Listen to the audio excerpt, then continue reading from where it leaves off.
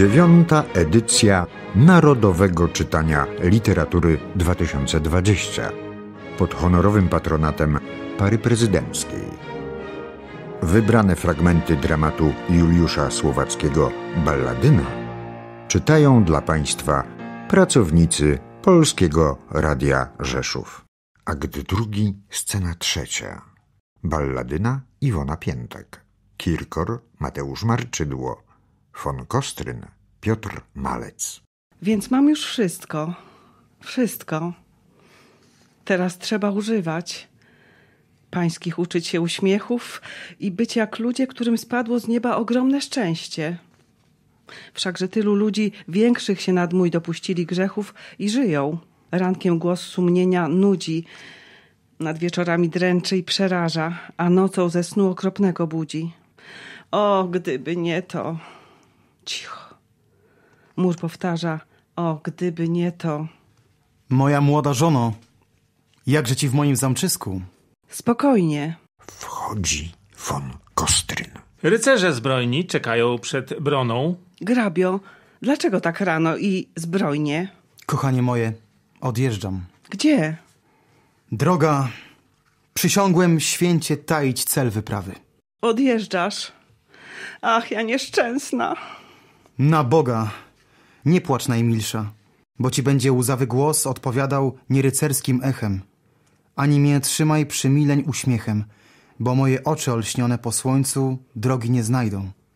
Niech pierś uniesiona ciężkim westchnieniem z krągłego robrońcu czarów nie rzuca, niech twoje ramiona wiszą ku ziemi, jak uwiędłe bluszcze. Gdzie jedziesz? Mężu, ja ciebie nie puszczę. Dlaczego jedziesz? Czyś przysiągł komu? Sobie przysiągałem. Bog daj ogień gromu, Bóg rzucał tobie przed konia podkową. Może piorunem twój koń przerażony, piorunem w bramę powróci zamkową. Więc ty na długo chcesz zaniechać żony? Za trzy dni wrócę. Czyś ty kiedy liczył, ile w dniu godzin, ile chwil w godzinach? Niechaj wie człowiek, że mu Bóg pożyczył życie na krótko.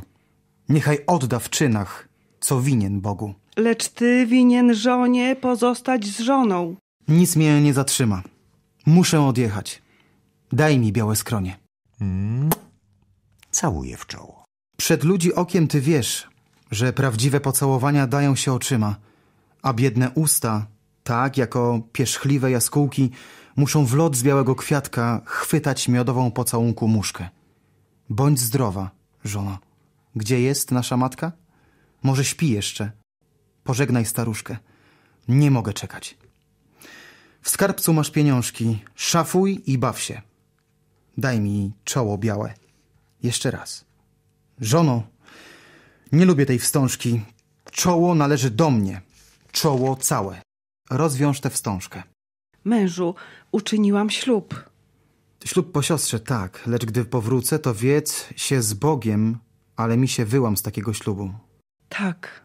Bo się pokłócę z tobą, kochanko, i to nie na żarty. Bądź zdrowa. Chamy na koń. Niechaj warty czuwają w zamku. Wspominaj mnie.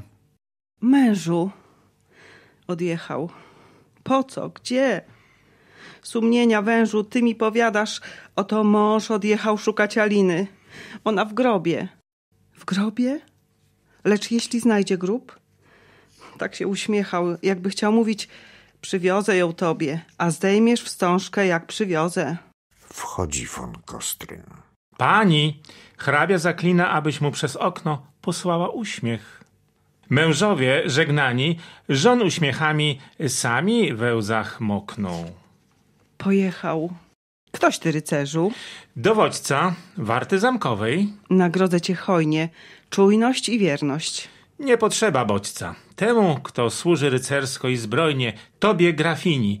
Otośmy dostali zamkowi temu obronę tajemną. Ach, my oboje będziemy czuwali, ja nad aniołem, ty anioł nade mną. Jak się nazywasz? Von Kostryn. Nie z Lachów? Z niemieckich książąt rodzę się. Wygnany? Ja, biedny ptaszek spod płonących dachów, w lot się puściłem. Dziś obcy, nieznany, własnej ojczyźnie, sługa w obcym kraju. Niech to nie będzie moim potępieniem, ty także obca. Tu scena się urywa, gdyż czasu nam ubywa. Już za godzinę następna na falach będzie dostępna.